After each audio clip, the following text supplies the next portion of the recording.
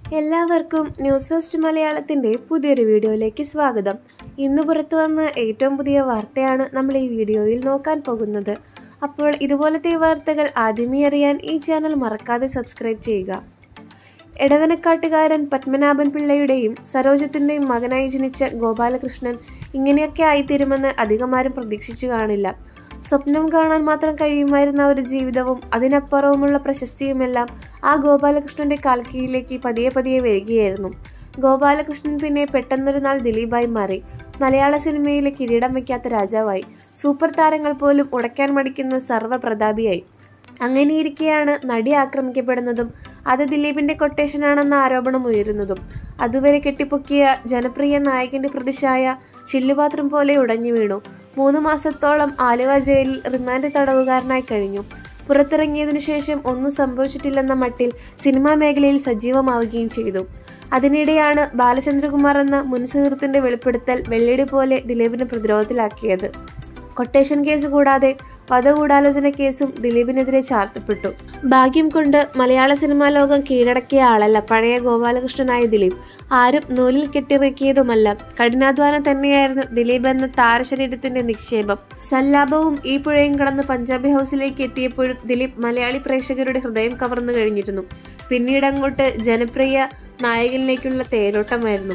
മീശമാധവൻ കൂടി തിയേറ്ററിലെത്തിയപ്പോൾ മലയാളത്തിലെ സൂപ്പർ താരങ്ങളുടെ നിരയിലേക്ക് ദിലീപിനെയും ആരാധകർ ഉയർത്തി. ഇതിനെല്ലാം മുൻപ് ദിലീപിന്റെ വിവാഹവും നടന്നു. മൂന്ന് സിനിമകളിൽ ഒരുമിച്ച് അഭിനയിച്ച മഞ്ജു വാര്യറുമായിട്ടായിരുന്നു വിവാഹം.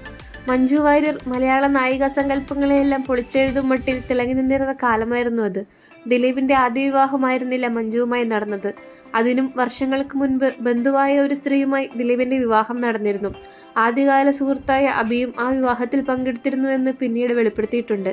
എന്തായാലും ദിലീപിന്റെ വിവാഹം കഴിച്ചതോടെ മലയാള സിനിമയ്ക്ക് ഏറെക്കാലം മഞ്ജു വാര്യർ എന്ന അതിലെ നടിയെ നഷ്ടപ്പെടേണ്ടി വന്നു.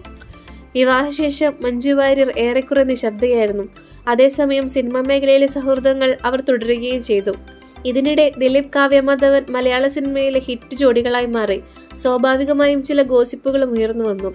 എന്നാൽ അതെല്ലാം അവസാനിച്ചത് ഞെട്ടിപ്പിക്കുന്ന സംഭവ പരമ്പരകളിലൂടെയായിരുന്നു. ആയിരത്തി തൊള്ളായിരത്തി തൊണ്ണൂറ്റിയെട്ടിൽ വിവാഹിതരായ ദിലീപും മഞ്ജുവും രണ്ടായിരത്തി പതിനാലിൽ വിവാഹമോചനത്തിനായി കോടതിയെ സമീപിച്ചു. രണ്ടായിരത്തി പതിനഞ്ചിൽ നിയമപരമായി വേർപിരിഞ്ഞു. ഇതിന് പിറകെ രണ്ടായിരത്തി പതിനാറിൽ ദിലീപ് കാവ്യമാധവനെ വിവാഹം കഴിച്ചു. തനിക്ക് മകളെ പോലെയാണ് കാവ്യയെന്ന് മുമ്പൊരിക്കൽ പറഞ്ഞിരുന്നു ദിലീപ്. എന്നാൽ താൻ കാരണം കാവ്യയുടെ ജീവിതത്തിന് ഒന്നും സംഭവിക്കരുതെന്ന ന്യായവാദവുമായിട്ടായിരുന്നു വിവാഹം. ഇതിനുശേഷം രണ്ടായിരത്തി പതിനേഴ് ഫെബ്രുവരി പതിനേഴിനാണ് നടി ആക്രമിക്കപ്പെടുന്നത്. സിനിമാ ലോകത്തെ മാത്രമല്ല മനസാക്ഷിയുള്ള ഓരോ മനുഷ്യനെയും ഞെട്ടിച്ചതും വേദനപ്പെടുത്തിയതുമായിരുന്നു ആ വാർത്ത. കൃത്യം നിർവഹിച്ചവർ ദിവസങ്ങൾക്കകം പിടിയിലായി. നടി ആക്രമിക്കപ്പെട്ട സംഭവത്തിന് പിന്നാലെ ക്രിമിനൽ ഗൂഢാലോചനയെക്കുറിച്ചും അന്വേഷിക്കണമെന്ന് മഞ്ജു വാര്യർ ആവശ്യപ്പെട്ടപ്പോൾ സംശയമുനകൾ ദിലീപിലേക്കും നീണ്ടു. ഒടുവിൽ ദിലീപ് അറസ്റ്റ് ചെയ്യപ്പെടുകയും മൂന്ന് മാസത്തോളം ജയിലിൽ കിടക്കുകയും ചെയ്തു. അതിൽ തീർന്നില്ല കാര്യങ്ങൾ. ജയിലിൽ നിന്ന് പുറത്തിറങ്ങിയ ദിലീപ് സാക്ഷികളെ കൂറുമാറ്റുന്നത് ഉൾപ്പെടെയുള്ള കാര്യങ്ങൾ ചെയ്തുവെന്ന് ഗുരുതര ആരോപണം ഉയർന്നു.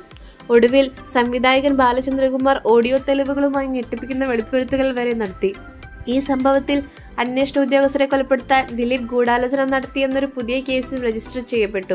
കേരളത്തിൽ അങ്ങോളം ഇങ്ങോളം മിമിക്രി കളിച്ചു നടന്നിരുന്ന മലയാളികളെ പൊട്ടിച്ചിരിപ്പിച്ച സിനിമകളിലൂടെ വീണ്ടും വീണ്ടും ചിരിച്ചുകൊണ്ടിരുന്ന ദിലീപും വെള്ളിത്തിരയ്ക്ക് പിറകിലെ ദിലീപും രണ്ടാണോ? ആ സംശയത്തിന് അന്തിമമായ ഒരു ഉത്തരം എന്തെങ്കിലും ലഭിക്കുമോ?